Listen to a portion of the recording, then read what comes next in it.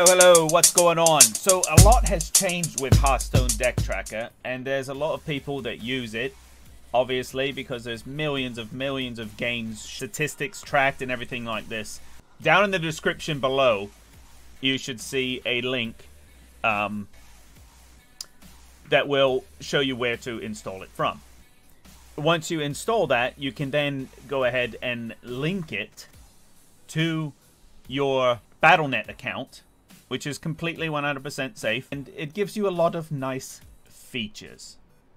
So, we'll start off by showing you this. It says find the best decks for your collection, last updated 14 hours ago. So the last time that I was that I synced my Hearthstone collection was 14 hours ago.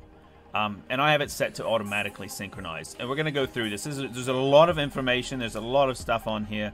So I will try to make this as short and brief as possible.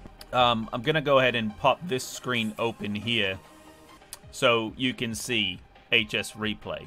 Listen, as you can see, I've got lots and lots and lots of decks here. So you can click the search button, alright, and I sort things by date.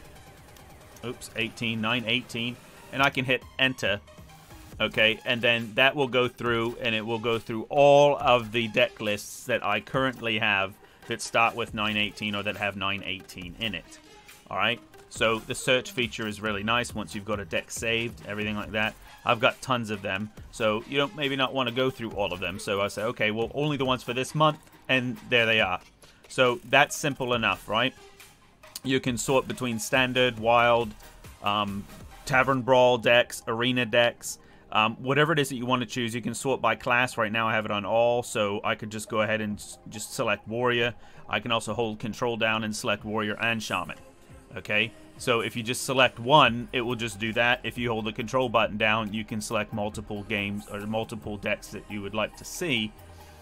Um, and then this little icon, this Hearthstone icon next to it, means that when you have that highlighted, means that it shows basically the global statistics on HS Replay reflect that a 58% win rate is the average of everything that is playing with this deck that uses Hearthstone Deck Tracker. So you can go ahead and click this and it will open that page up. We've already got it opened over here.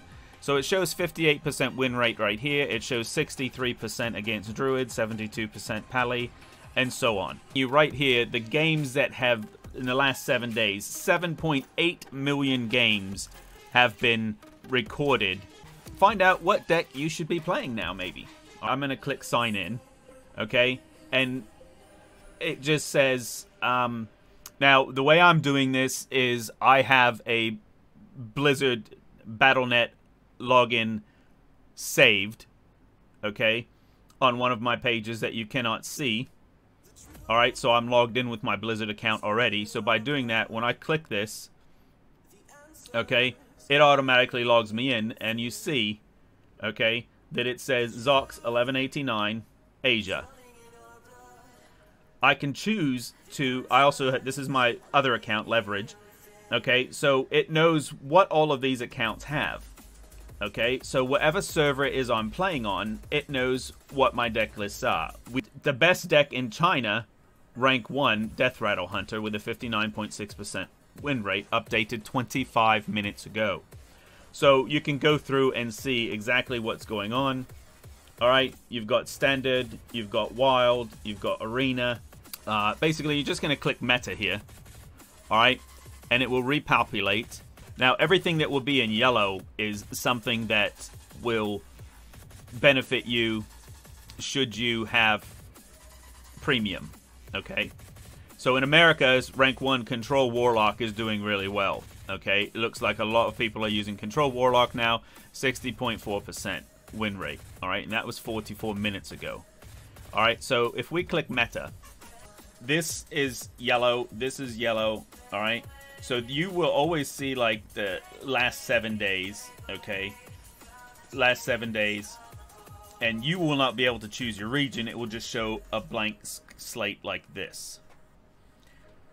Should you choose to go ahead and be a premium member, as I am, you will receive additional benefits. Those benefits, in my opinion, are well worth it for what you pay.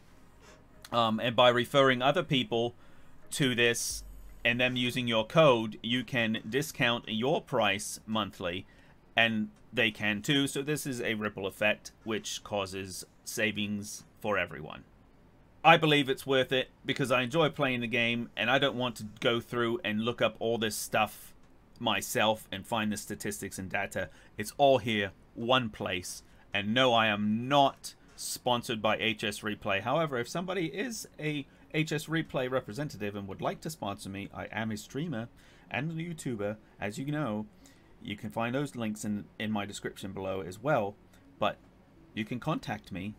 Whatever rank it is you are, if you are a legend player, okay, and you are playing on EU, then you choose legend, EU, and this is the last seven days, alright, by tier list. Alright, you can go to the last three days. So for the last seven days, even Shaman and mid-range Hunter seem to be tier 1.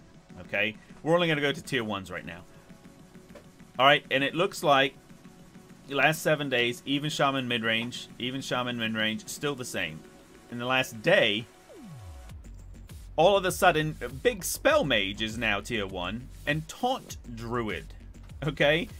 So, in the last day, you can see 53, so let's, we'll round this to 54 and round this to 53, so we can say 1% difference there. And if you look at this here, last day, Taunt Druid at 56, basically, these are pretty close as well. So, and if you mouse over, you can see, okay, this is what they're playing. You want to see the most popular deck? You just click this button here. You click this deck, Alright? And Taunt Druid, okay? If you want to do this Taunt Druid, right now it says with my collection in Americas, alright? My collection in Americas, you see here, 800 dust is what I require to craft this deck. Now, we click this button here, copy to Hearthstone, deck is copied. Alright, import from deck code, sorry, I don't have Hearthstone open. Okay, so I'm going to click Save Only, not Create in Hearthstone.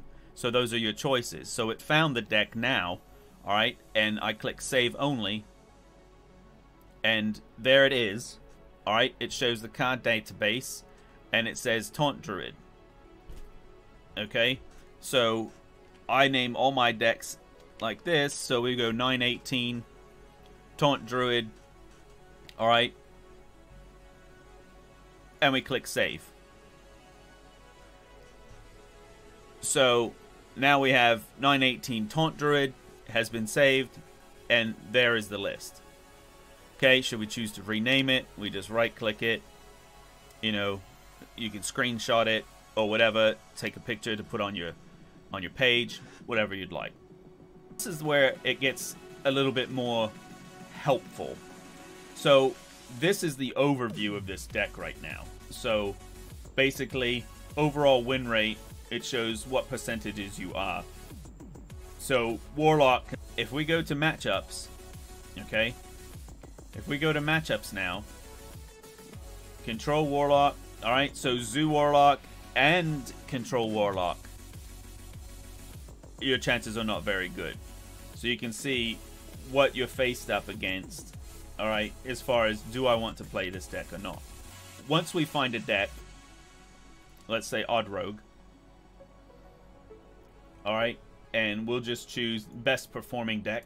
Now we're down to the Mulligan Guide. So if you are a premium member, you will be able to choose your class. So is so you can have this up on the other screen. As soon as you find a opponent and let's say you're playing this odd Rogue deck and all of a sudden you queue up against a warrior you just click warrior kept rate percentage of times the cobs was the card was kept during the mulligan all right? And this will tell you okay so Diamol all of these cards right here are 80% or higher keep.